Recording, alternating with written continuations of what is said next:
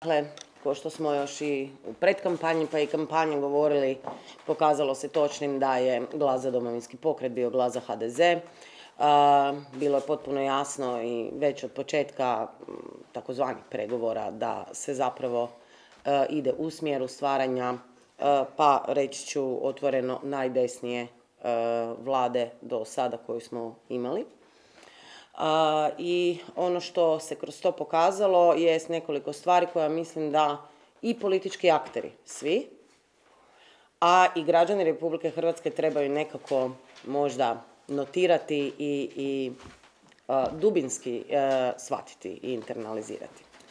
A to je da stranke koje svoju politiku temelje na držanju za ruke na srcu kad svira himna drže se zapravo za novčanik.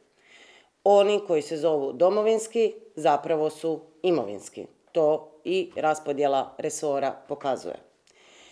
Oni koji se predstavljaju kao desna alternativa HDZ-u nekako uvijek, evo baš uvijek završe u zagrljaju, toplom zagrljaju HDZ-a.